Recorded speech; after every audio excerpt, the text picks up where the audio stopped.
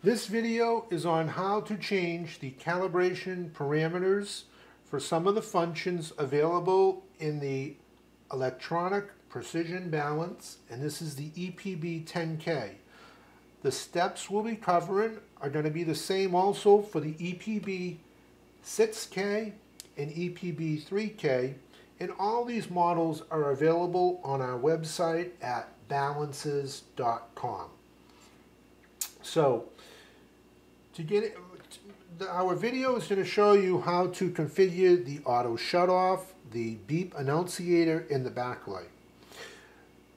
So the, the auto shutoff default is set to disable. You can configure the EPB digital scale to shut off after no activity in 3 minutes, 5 minutes, 10 minutes, or you can disable it so it never shuts off at all.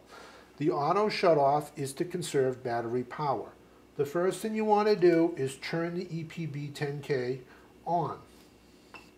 And the scale will do a performance power up sequence and you'll notice the display is counting down in hexadecimal so basically all F's, G's, then it goes 4, 3, 2, 1 and once you see six dashes you want to press the piece count and release and you'll notice the display will show RD2 0.8 and what you want to do is press the zero button several times until we see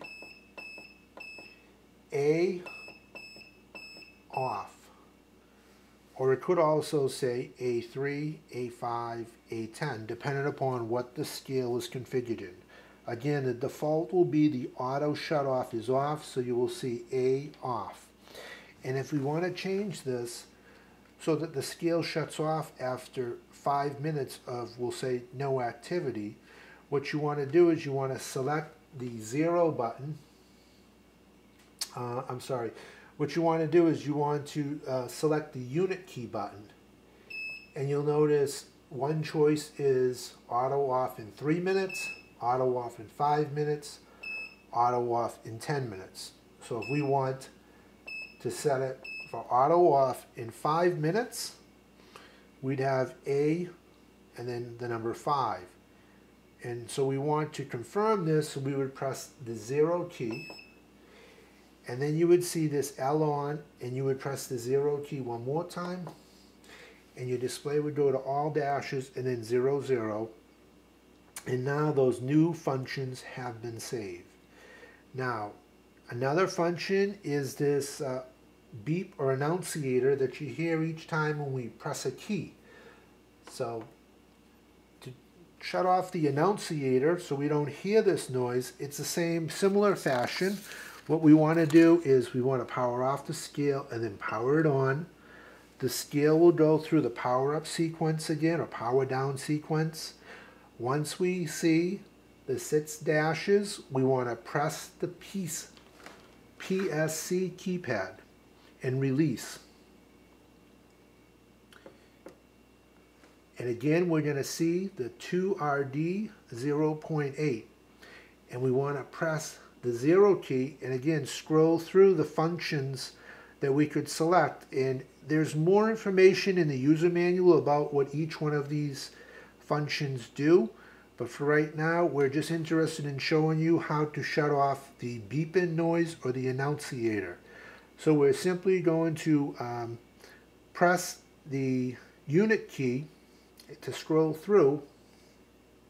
Let's see. No, we don't want to press the unit key. We want to press the zero key. So we're going to press the zero key to scroll through these functions until we actually see B2 and you'll see it says B2 on and we want to shut it off. So we're going to press now the units key and you'll see B2 off. And you'll notice there's no noise when I press that units key. If I press it again I have B2 on and now we hear the annunciation but we want to shut off the units key. So it's B2 off and to store this function, we're going to press the zero key again, the zero key again, and the zero key again, and one more time, and the scale resets. And now when we press any of these buttons, we no longer hear the annunciation. So the one other item that we wanted to try to uh, demonstrate is the auto backlight. You probably can't really see the auto backlight uh, with this light in, um, but there is a nice auto backlight here that's on green. And if we wanted to turn this off to save battery power, say if we're using the scale in the field all the time and we don't want the auto um, backlight on, once again, we're just going to simply turn the scale on. It goes through the power up sequence. When we see the six dashes, once again, we're going to press and release the PSC key. And we'll see the 2RD08. So we press the piece key. And once again, we want to now scroll through the function menu on the available functions by pressing the zero key. And this time we're going to be looking for the L. Uh, it will say L on. So we scroll through. And there it is. It says L on. And we want to change this. And there's three choices. You can always have the backlight on, which is L on. There's also L space AU and what this is, is the auto light comes on when there's a weight on the platform. And then there's L off, which means the auto light will be off all times. And to save this feature so that the auto light will always be off, once again, we're going to press the zero key several times until we go back to the zero, uh, all the dashes, and then the balance resets. Thanks for watching this video. If you'd like to purchase the EPB, you can visit our website at either balances.com or scaleman.com. Simply put in the search box EPB10K. If you like this video, please give us a thumbs up or consider subscribing to our channel, and YouTube will notify you when we add new videos.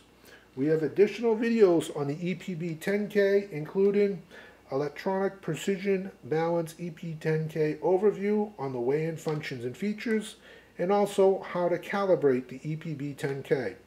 We are Precision Weighing Balances. We've been selling balances, scales, and weigh-in accessories online since 1995.